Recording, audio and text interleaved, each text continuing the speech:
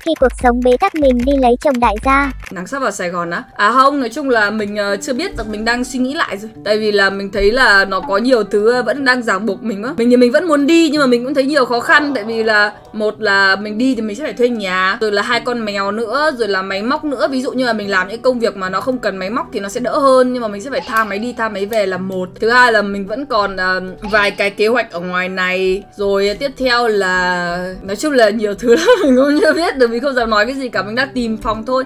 Nếu mà tìm được phòng thì mình uh, đi còn không thì thôi. Còn lưu luyến điều gì á? Thật ra thì cũng chả phải là lưu luyến điều gì cả mà là nó có nhiều thứ phải để lo quá. Với cả bọn mình có cái một cái ờ, dự án làm chung mình với cả bạn bè các thứ thì đang ờ, ở đây. Nếu mà mình đi thì sẽ không có làm được gần nhưng mà nó chắc nó cũng không sao mình cũng không biết là mình ở đây thì mình có vui được lên không chứ mình cảm thấy là mình ở đây nó đang bị ờ, cái cái không gian này á mặc dù mình mặc dù là mình đã ở đây mấy năm rồi nhưng mà mình thực sự là mình cảm thấy kiểu nó khó thở ấy. Hà Nội ngột ngạt quá à. Không phải Hà Nội ngột ngạt mình vẫn rất là yêu Hà Nội nhưng mà uh, bị một cái đấy là do kiểu như là nó ám ảnh mình thôi chứ không phải nó nó không có nó không có gì hết á. Mọi thứ nó vẫn ok nhưng mà nó ám ảnh mình thôi do cái cảm xúc của mình thôi kiểu dạng là mình uh, mình ở đây sau rồi là mình trải qua cái giai đoạn ờ, khó khăn nhất với cả giai đoạn kiểu bế tắc nhất một mình ở đây. Nên là mình cảm thấy sợ ấy, mình cảm giác là bây giờ mình muốn ờ, tâm trạng của mình tốt lên, mình muốn ờ, thay đổi cái bầu không khí, mình muốn thay đổi cái môi trường thì mình thử đi nơi khác sống một hai tháng xong mình về. Do nghèo á ai chẳng biết là nghèo nói thế nói nhưng mà bây giờ mình không mình không giải quyết được cái vấn đề nghèo tức là mình không thể một phát mình giàu luôn được thì mình ờ, thử chuyển chỗ khác mình ở hai ba tháng rồi mình về. Cho nó xem là cái tâm trạng nó có tốt lên không cái uh, suy nghĩ nó có tích cực lên không mình có động lực hơn không hay là mình cứ ngồi đây thì mình sẽ uh, quanh đi quẩn lại mình vẫn cứ như thế mình chả có gì thay đổi cả chả có gì uh, tích cực lên cả. Hoặc là biết đâu mình uh, chuyển đi nơi khác ở xong rồi ở hai ba tháng thì quen anh nào xong rồi là cưới luôn sống luôn ở đấy khỏi về nữa đúng không? Còn cái nịt. Tâm trạng thì tốt lên nhưng vẫn nghèo ý á. Ờ, thực ra đối với mình thì cái việc nghèo nó là cái việc từ từ cải thiện được nhưng mà cái tâm trạng nó nó nó ngột ngạt với cả nó mệt mỏi thì thì mình sẽ chả làm được cái gì. Mà mình không làm được cái gì thì sao mà nó giàu được đúng không cưới đại gia rồi livestream tiếp á. Đâu, bạn cho mình xin info đại gia cái. Bạn ờ, bạn mạnh cường ấy, bạn ờ, bạn bảo mình cưới đại gia cho bạn có thể thả info anh đại gia nào mà chịu cưới mình ở đây hộ mình cái đâu Chứ bây giờ mình cũng muốn cưới đại gia đấy, Mình cũng muốn mẹ lấy chồng ờ, giàu giàu xong rồi thôi khỏi làm nữa, Mình cũng muốn lắm. Nhưng mà bây giờ là mình đang chưa biết là có đại gia nào chịu cưới mình ấy. Bạn có thể thả cho mình cái info được không? Bây giờ bạn gợi ý thì bạn cũng phải đưa ra giải pháp chứ chứ còn cái thằng nào mà đưa ra vấn đề mà không đưa ra cách giải quyết là đấm thằng đấy nhá. Không không có cái chuyện nó thích nói gì thì nói như vậy đâu. Bây giờ mình mình đưa ra vấn đề thì mình phải đưa ra cả cách giải quyết nữa. Không phải là mình thích là mình nói được hiểu không? Không hiểu mày ngu. Nào bây giờ đại gia nào cưới nào comment info đây để để kết bạn luôn để add friend luôn là nhanh nhanh nhanh mệt quá. Số điện thoại thì càng tốt. À, nhưng mà đừng có đừng có zalo ra lụng gì là được nhá. Em chị ơi em còn không có cả huy hiệu tặng sao. Thám thật. Cục vừa cần là rất là mệt thề luôn rất là mệt luôn. Tính nào nhắc vã lắm rồi nói chả sôi tiết á. Không phải đâu mà là mệt lắm ý thề đấy. Đang nói chuyện rất là nghiêm túc luôn. Không phải đâu với cả thêm một cái nữa đấy là chúng ta phải rõ ràng và thẳng thắn với nhau đi. Ờ chứ bây giờ cứ gợi ý những cái kiểu vớ va vẩn chả liên quan gì và chả có tác dụng gì cả.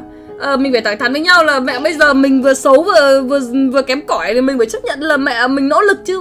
Đại gia nào yêu toàn gợi ý phi thực tế chán. Ừ đúng mẹ kiểu toàn đưa ra những cái những cái cách giải quyết vấn đề chả chả chả làm được cái gì cả.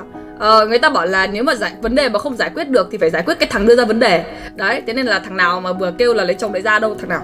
Rồi rồi. Mày xong rồi. Sự tiêu cực đáng sợ như thế nào chị thấy sao về một người khá nhạy cảm á? Uhm, nó sẽ có cái tốt và cái không tốt. Kể cả người không nhạy cảm thì vẫn cũng có cái tốt cái không tốt mà. Người nhạy cảm thường sẽ là người tinh tế tại vì người ta sẽ để ý rất là nhiều. Thì uh, thường người ta sẽ ít kiểu như là sẽ có những cái tình tình trạng kiểu vô tâm tại vì là uh, người ta sẽ nhớ dữ kiện với cả để ý đối phương hơn kiểu vậy? Thì là thì được một cái là người ta sẽ là có thể là sẽ là người tinh tế. Nhưng mà nhạy cảm thì có thể là nếu mà nếu là một người tiêu cực thì uh, nó sẽ gây mệt mỏi cho hai người. Còn nếu mà là tích cực thì uh, ok, em vừa nhạy cảm, em vừa tiêu cực ấy, có cách nào để thoát ra khỏi vấn đề không ạ? Nghĩ đến hậu quả nghĩ đến hậu quả thì sẽ sẽ thấy sợ thôi. Tại vì là ừ, cái cảm giác mà ví dụ em em tiêu cực thì lúc em đang chìm trong tiêu cực thì thì em sẽ không không nghĩ được nhiều. Nhưng mà sau đấy em thể nghĩ là nếu mà em như thế thì em sẽ mất hết bạn bè em sẽ mất hết em sẽ không có có ai yêu em cả. Em sẽ làm cho tất cả những mối quan hệ xung quanh em đều tệ đi. Bản thân em cũng mất đi rất là nhiều cơ hội. Bởi vì khi em tiêu cực thì em sẽ không thể có năng lượng để làm việc không thể uh, chơi bời không thể tận hưởng được đúng không? Em sẽ kiểu như là buồn giàu. Em sẽ phải ờ, chịu cái cảm xúc mà đáng lẽ ra em không đáng phải chịu ấy. Uh, những người xung quanh em có thể lúc đầu họ thương em thì họ chịu đựng nhưng mà em mà cứ như thế mãi thì họ sẽ bỏ đi họ sẽ bỏ đi. Và như thế thì người thiệt thòi là em á người thiệt nhất là em. Có thể là cái lúc em tiêu cực em cần người quan tâm quá thì em có thể kiểu như là thể hiện quá nhiều cái sự tiêu cực ra. Tại vì chị cũng là một người tiêu cực chị biết. Thì em có thể thể hiện cái sự tiêu cực ra để chờ đợi người khác quan tâm mình và chờ đợi cái việc là được ờ, được an ủi được hỏi han ấy. Nhưng mà có một cái sự thật đấy là trừ những người rất rất yêu mình ra thì còn lại thì không có ai quan tâm đâu. Nhưng mà những người rất rất yêu mình á, thì họ không xứng đáng để chịu đựng cái sự tiêu cực đấy của mình. Bởi vì là họ có thể chịu được một thời gian lúc đầu bởi vì họ rất là thương mình. Nhưng mà dần dần họ cũng sẽ bỏ đi á. Bởi vì chị biết là có một khoảng thời gian chị tiêu cực nên là chị không chị không chị còn nghĩ là mình không xứng đáng yêu ai cơ. Bởi vì là nếu mà mình yêu thì rất là khổ người ta ấy. mình mình lúc đó mình chưa có thoát khỏi được cái sự tiêu cực đấy thì mình sẽ mình sẽ gây mệt mỏi cho cả hai thôi. Ui cái trên một tay ơ nghe tiêu cực và nhạy cảm thế á. Ô oh, cái này là thật đấy mình cũng từng bị như thế. Tức là ờ, sau này thì mình ờ, mình có một giai đoạn mình ờ, gặp một cái vấn đề về tâm lý thì thôi cái đấy không nói. Nhưng mà ngày xưa cái hồi mà tiêu cực kiểu set girl kiểu cái hồi trẻ trâu thì cái đấy cái đấy chắc là ai cũng có khoảng thời gian như thế. Set boy set girl mà cái kiểu mà thích thể hiện nỗi buồn ra để cho người khác quan tâm ấy cái hồi trẻ trâu ấy ai chả thế. Mà chả đăng avatar đen trắng với cả mấy cái câu buồn buồn mấy cái câu cốt buồn buồn lên để cho mọi người chú ý đúng không? Thì ai cũng vậy hết á. Nhưng mà yên tâm đi nếu mà làm như thế thì mình sẽ mất nhiều hơn là được đấy. Ờ, mình sẽ mất đi rất là nhiều. Ờ, không thực sự là không có ai quan tâm đâu. Ngày xưa không ai nói với chị điều đấy cả. Phải tự chị nhận ra điều đấy á không ai nói với chị là đừng tiêu cực bởi vì là mình sẽ mất rất là nhiều. Không ai nói với chị cả. Và chị vẫn cảm thấy cái cái cái cái sự tiêu cực nó hấp dẫn ấy. Và cái sự buồn buồn bã nó hấp dẫn ấy. Cái hồi đấy là cái hồi trẻ trâu nhá. Chứ còn cái hồi mà mình, cái giai đoạn ờ, trước mình tiêu cực là do mình ờ, mình gặp một số vấn đề về tâm lý thì không nói. Nhưng mà cái hồi trẻ trâu ấy, là không ai nói với mình cả còn cái lúc mà mình gặp sau này thì mình nhận ra nó rồi thì mình không bao giờ mình muốn tiêu cực cả. Cái đấy mình không muốn. Cái đấy là tự nó bị thế chứ mình không hề muốn. Nhưng mà cái hồi mà trẻ trâu là muốn tiêu cực nha, là thích tiêu cực nha, là thích thể hiện những cái buồn các thứ ra để cho người khác quan tâm nha, là có nha. Đấy, thì không ai nói với mình điều đấy. Sau này mình phải tự nhận ra. Và mình đã nói về cái đấy rất là, với rất là nhiều bạn. Bởi vì mình nghĩ là mọi người mọi người xứng đáng được biết sớm ấy, để giờ, để kiểu như là thoát khỏi cái cái sự hấp dẫn của cái cái tiêu cực ấy bởi vì nó sẽ lấy đi của mọi người rất là nhiều cơ hội với cả nhiều thứ. Cái hồi cấp 3 sau khi mà mình chia tay xong ấy là mình cứ chìm vào tiêu cực thôi. Nói chung là chia tay xong thì nó cũng có buồn nhưng mà nó không đến cái mức mà nó nên dai dẳng như thế mà mình cứ buồn mãi luôn á. Không sao nàng ơi nàng nói chuyện luôn này á em tin yêu nàng không đau à à, ví dụ như là với mình kiểu tiêu cực mà mình không tìm cách để thoát khỏi tiêu cực luôn á.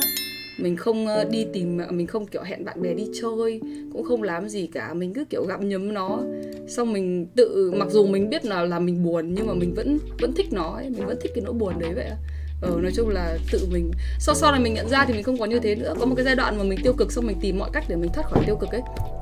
Bởi vì mình rất ý thức được là mình rất ý thức được là mình không thích buồn.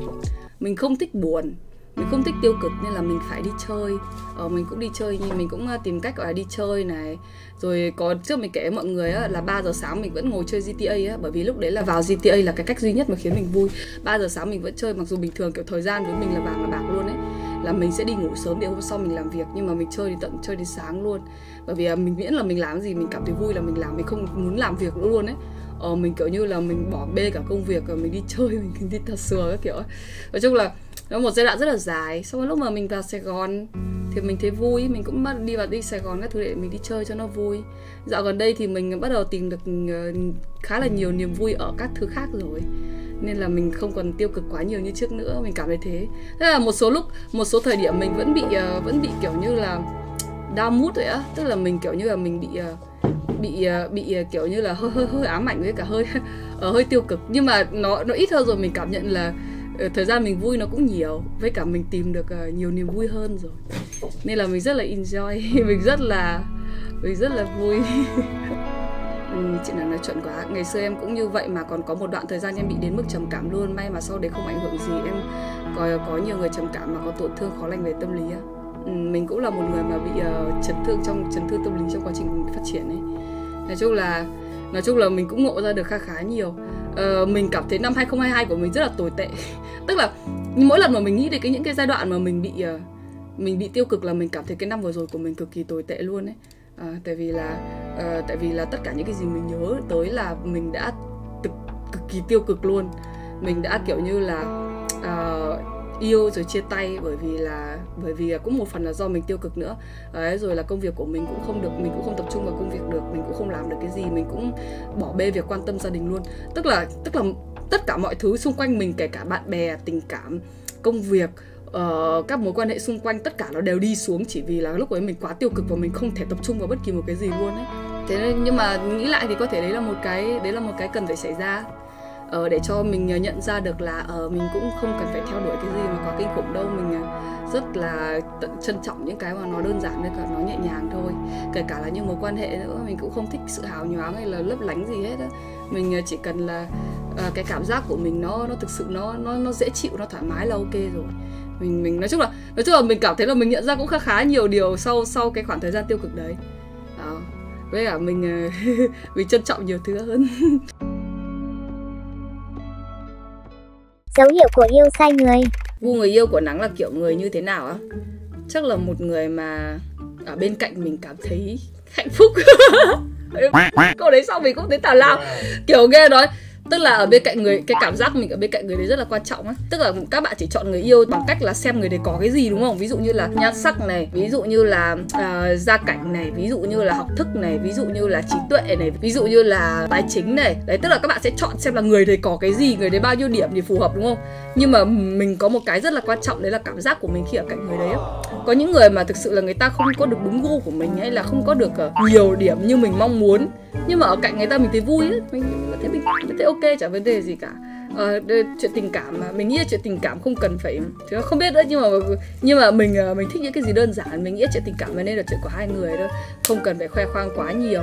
À, miễn là hai người bên cạnh nhau hạnh phúc là được chứ không cần phải show cho ai xem ấy kiểu đấy nắng mà lấy ông nào nói nhiều về chắc nhà không khi nào hết tiếng cười á. Ờ ờ không biết mình không biết. Mình cũng tùy à không phải lúc nào mình cũng nói nhiều đâu. Mình cũng chưa biết được là khi mà mình lấy chồng thì mình sẽ nói nhiều hay nói ít. Nhưng mà mình nghĩ là mình sẽ nói nhiều. Nice. tức là mình ra ngoài mình là một cái đứa ít nói nhưng mà về nhà thì mình lại kiểu mình ở bên cạnh ai mà mình cảm giác kiểu có năng lượng uh, tích cực là mình cũng nói nhiều lắm ừ, mình cũng nói nhiều lắm tại vì là kiểu mình miễn là mình ở bên cạnh họ mình thấy vui.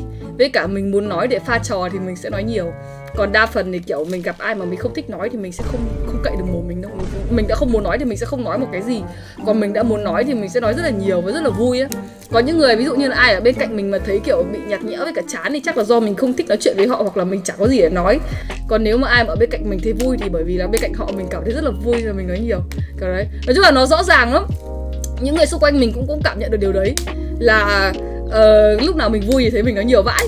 Còn lúc nào mình không vui thì mình không thể nói gì hết. Hoặc là đấy hoặc là khi nào mà mình vui thì mình sẽ uống nhiều. Không vui thì mình sẽ không uống gì cả. À, nói chung là rõ ràng lắm. Thì nếu mà mình ờ, cưới một người thì chắc người đấy phải làm mình vui rồi. Thì chắc là mình sẽ nói nhiều. Nhà phải có người nói thì mới vui chứ. Nhà như cái nhà như cái nhà tang ấy thì, thì ai nói ai cười đúng không? Đúng này cả đều đúng. Ai lọt vào mắt xanh của nắng mà đi chơi cùng thì chắc không hết chuyện để nói á. Ừ, tùy á. Ờ, tùy á. Nói chung là không phải lúc nào mình cũng nói nhiều kiểu đi chơi cùng đâu. Ví dụ như là người yêu cũ của mình thì mình ít nói á ờ ngày xưa ví dụ như là cái người yêu cũ của mình á tức là người mà mình yêu gần nhất ấy tại mình mình hay lấy ví dụ người đấy không phải là mình yêu người đấy đâu mình không có mình không có nhiều tình cảm như thế nhưng mà đấy là cái người mà sai lầm ý là ý là không phù hợp với mình ấy. À, đấy là đấy là người mà mình cảm thấy không phù hợp với mình thì mình lấy ví dụ ra để ờ, so sánh thôi thì cái lúc mà mình yêu cái người đấy á là mình đi chơi mình ít nói cực kỳ luôn ấy. Mình kiểu mình trầm tính mình không nói và mình không cảm thấy được niềm vui á kiểu vậy á. Tức là mình đi chơi với người ta mình không không biết á nhưng mình không không có niềm vui. Ờ mình không nói cười được mình cứ yêu xìu xìu ấy mình cứ kiểu bị sao ấy. Nói chung là mình cũng không muốn như thế đâu nhưng mà gặp người ta mình không có cảm giác có năng lượng tích cực ấy đấy. Ờ, mình cứ hai người vẫn đi chơi vẫn hẹn hò như bình thường nhưng mà cũng cũng ít nói cũng bình thường kiểu vậy á. Ừ. nên là chắc là đấy là một cái uh, sai lầm. Một cái sai lầm. Đấy thì ờ, thì uh, đấy là điển hình cho sai người. Điển hình cho sai người. À, nói ít với người yêu cũ thì người đó xứng đáng làm người yêu cũ của nắng rồi à? À ừ thì chắc là thế. Thì mình như mình nói là không phù hợp với nhau đấy.